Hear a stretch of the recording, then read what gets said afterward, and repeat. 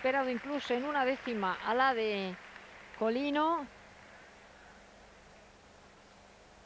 Y se ha colocado en primer lugar por delante de Cantalupi y de Jennifer Colino. No contaban con la francesa, atención a ella.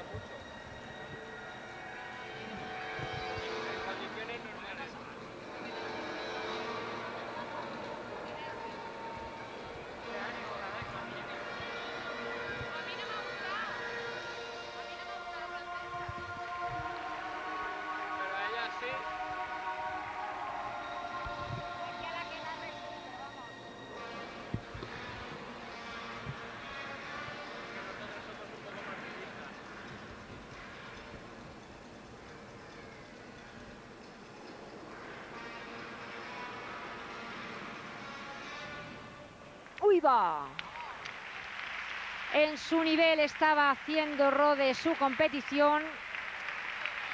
No le van a quitar eh, una décima por esa caída porque haya salido porque se ha quedado la mitad de la maza dentro del practicable, la mitad fuera, pero estaba con una regularidad tremenda, tremenda. Moica Rode que ayer acabó sexta en la calificación y que lleva desde la primera rotación también en sexto lugar. En su modestia y en su nivel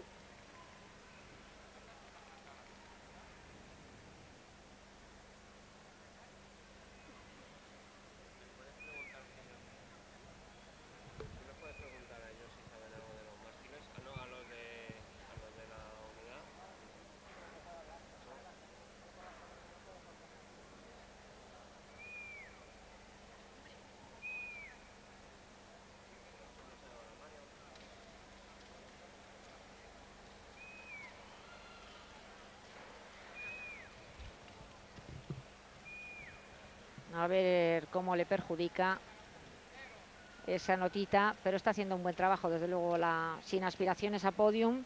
Tiene que darse un colapso de notas. Ahí está, en la recepción final. Se le ha colado la maza por la mano.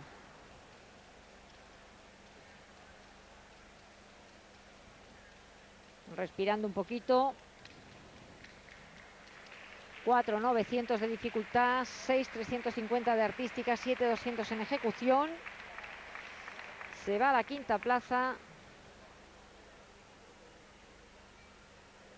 Y va a salir ahora Eleni Andriola.